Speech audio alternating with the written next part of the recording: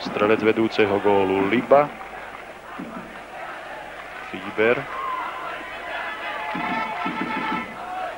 Kašpar.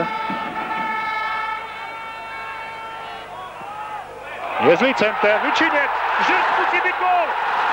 Dal ho, dal ho Takáč, dal ho Takáč, 2-0. 14. minúta zápasu, dvojgólový náskok súpera zlikvidovaný. 2-0 vedie Dac Dunajská streda. Pozrime sa znova na to všetko. Kašpar centroval, tam bol dobre postavený Mičinec, presne namieril, ale trafil žrť. Jeho druhú strelu Raveli reflexívne vyškravoval, ale už tam bol takáč.